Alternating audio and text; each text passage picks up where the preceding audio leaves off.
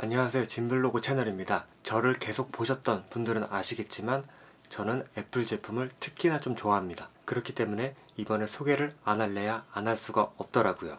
애플 홈페이지를 보면 갑작스럽게 신제품을 매일매일 계속 공개를 해가지고 오늘이 돼서야 멈췄습니다.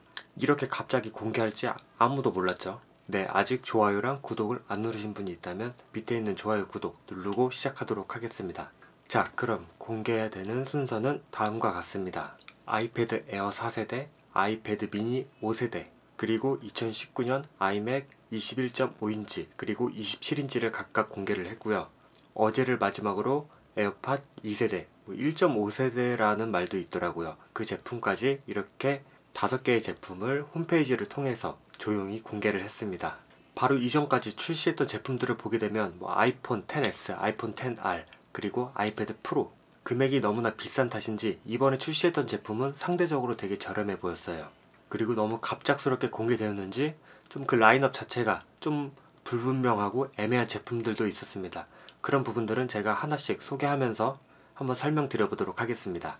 먼저 처음에 공개된 아이패드 에어 4세대 그리고 아이패드 미니 5세대가 있습니다. 얼마 전에 아이패드 프로가 출시되면서 기존의 아이패드 시리즈들을 완전히 묵살하는 좀 그런 분위기였죠. 그런데 이번에 성능도 적당하게 올리고 가격도 적당하게 떨궈서 살 마음이 없다가도 어 이번에 한번 사볼까? 좀 그런 제품이 이번에 출시하게 된 것 같아요. 특히나 저처럼 프로 제품을 좀 건너뛴 사람들에게는 혹하는 제품이기는 예, 분명하긴 합니다. 그런데 여기에서 아이패드 에어 4세대는 좀 뭔가 애매한 점이 있어요. 왜냐하면 그 전에 아이패드 6세대 제품이 있었기 때문인데요. 아이패드 6세대가 한 40만원 금액을 유지하면서 애플 펜슬까지 사용할 수 있다 보니까 상대적으로 아이패드 에어 4세대를 살 바에는 차라리 그냥 아이패드를 사버리지 좀 이런 경향이 생기더라고요. 왜냐하면 아이패드 4세대 같은 경우는 금액이 한 60만원대로 형성이 되어 있다 보니까 그냥 적당히 큰 화면에 뭐 적당히 뭐 괜찮은 성능에 애플 펜슬도 사용할 수 있다라고 하면 아이패드 에어 4세대를 선택하기보다는 그냥 아이패드 6세대를 선택하는 게 훨씬 금전적으로 저렴하게 고를 수 있기 때문이에요. 단, 무조건 화면이 조금이라도 더 큰 제품, 그리고 성능 하나하나에 좀 예민한 편, 그리고 무게도 상대적으로 좀 가벼워야 된다.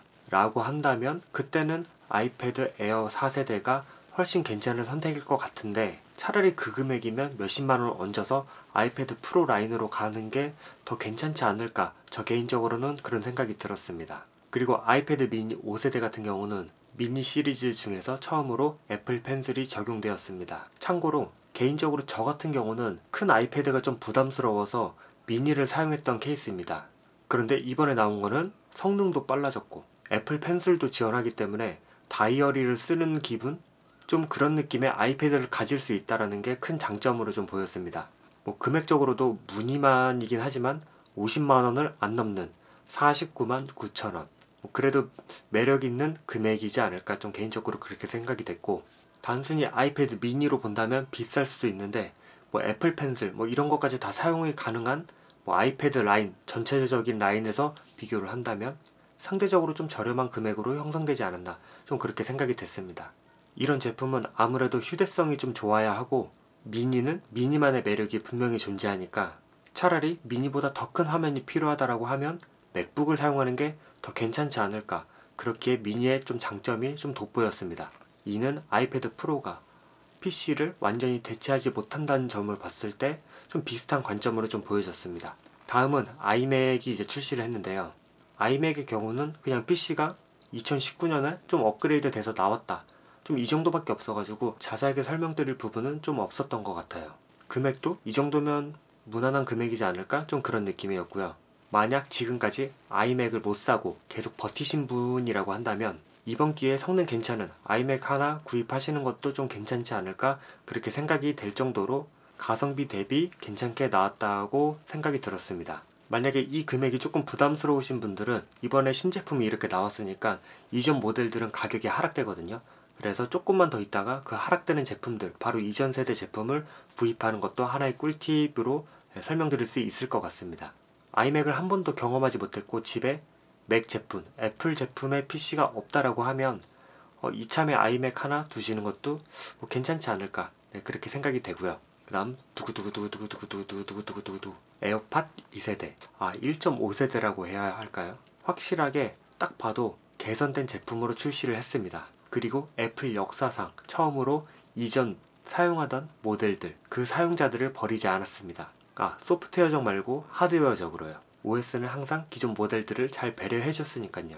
제품도 좋아졌고 배터리 케이스도 개선돼서 출시되었습니다. 일단 이어폰은 시리를 부를 때 두 번을 터치했었어야 되는데 시리아라고 부를 수 있게 되었습니다.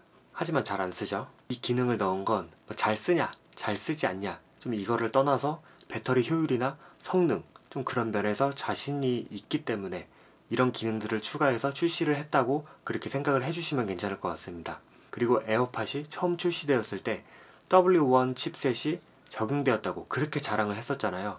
이번에 보니까 W1이 개선돼서 H1 칩셋이 적용되었다고 그렇게 홈페이지에 나와 있습니다.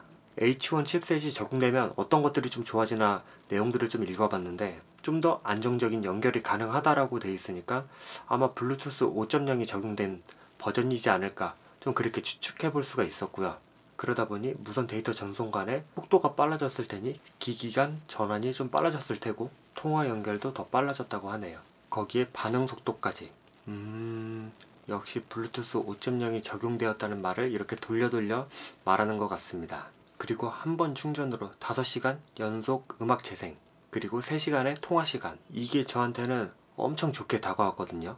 저 같은 경우는 출퇴근 시간이 다 합쳐가지고 한 4시간 정도 걸리는데 전화 통화를 하면서 퇴근을 해가지고 집에 오다 보면 한 집에 도착할 때쯤 에어팟 전원이 나가가지고 다시 충전을 해서 막 사용을 해야 되는 좀 그런 번거로움이 좀 있었어요. 그 소리는 기존 제품은 전화 통화를 할 때 한 1시간 반, 2시간 정도 쓸 수 있지 않았나 좀 그렇게 생각이 되었고요.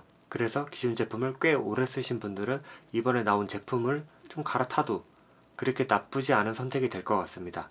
그리고 만약에 구입한 지 별로 안 되신 분이 있다라고 하면 배터리 팩만, 배터리 케이스만 따로 파니까 99,000원에 그 제품만 구입을 해서 사용하는 것도 크게 나쁘지 않은 선택일 것 같습니다.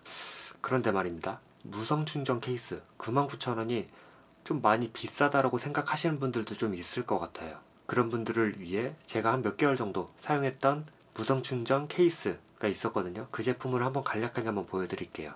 네, 지금 조금 더럽게 썼는데 이 제품이고 이렇게 기존 케이스에다가 추가로 케이스를 이렇게 더 씌우는 거거든요.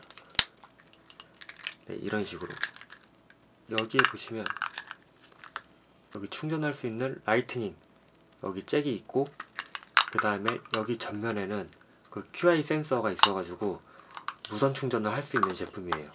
그래서 저 같은 경우는 이미 몇 개월 전부터 무선 충전을 계속 사용을 하고 있어 가지고 이번 제품을 만약에 갈아탄다라고 하면 제가 무선 충전 때문에 갈아타는 게 아니라 이 안에 있는 이어폰이 좀 더 개선되어서 그걸 경험하고 싶어서 넘어가는 거지 않을까 좀 그렇게 생각이 됩니다. 이거 같은 경우는 금액이 좀 저렴해 가지고 만약에 갈아타는 게 좀 부담스러우신 분들은 제가 밑에 고정 댓글로 구입한 링크를 남겨 놓을 테니까 그거 참고해서 구입을 하시는 것도 하나의 방법일 것 같습니다. 네, 한 이 정도로 해가지고 갑작스럽게 발표된 그 애플의 신제품들을 간단하게 정리를 해서 여러분들께 소개를 드려봤습니다. 이 영상을 보고 필요한 제품인지 아닌지 구입을 고민하셨던 분들이라고 한다면 좀 도움이 되셨으면 좋겠습니다. 특히나 더 재미있는 게 이번에 애플 스페셜 이벤트가 3월 25일 한국 시간으로 하면 3월 26일 한 새벽쯤 되겠죠. 이때 이벤트가 또 열린다고 합니다. 또 어떤 제품들, 어떤 신기한 것들을 좀 보여주려고 이렇게 미리 이렇게 좋은 제품들을 선 공개했을까요? 저 개인적으로는 애플 제품들을 좀 관심있게 보고 있기 때문에 그리고 유튜버로서 활동하면서 이런 상반기 이벤트, 이런 스페셜 이벤트, 이런 것들을 처음 겪어보기 때문에 좀 많이 기대가 되고 있습니다. 오늘 소개한 제품들 중에서도 저 개인적으로 좀 관심 있는 제품들도 있거든요. 그 제품들을 구입을 할지 말지 고민하고 있지만 아무래도 계속 보다 보면 좀 구입하는 쪽으로 좀 기울 것 같기도 합니다.